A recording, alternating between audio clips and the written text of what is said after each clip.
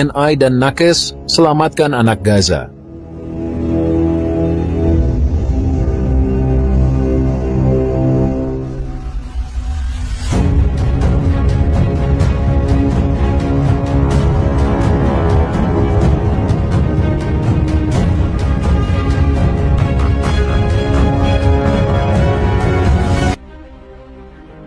Sebuah peristiwa yang menggugah perhatian dunia internasional terjadi di zona pengungsian Gaza, di mana pasukan perdamaian Indonesia, TNI, menunjukkan aksi heroik dalam misi kemanusiaan mereka.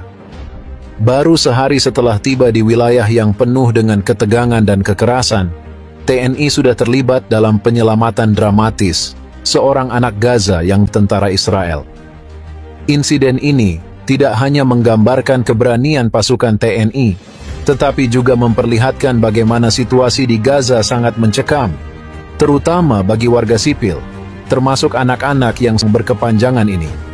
Kejadian bermula ketika seorang bocah Gaza yang diperkirakan berusia sekitar 10 tahun melakukan aksi nekat dengan melemparkan batu ke arah pasukan Israel yang sedang melakukan patroli di sekitar kamp pengungsian.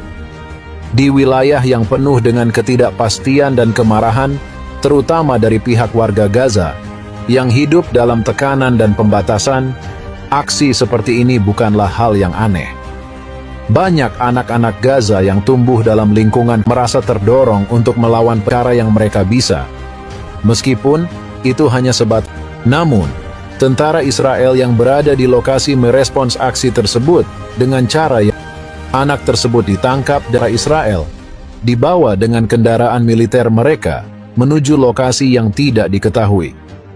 Insiden ini disaksikan oleh warga sekitar dan beberapa personel TNI yang kebetulan berada tidak jauh dari lokasi.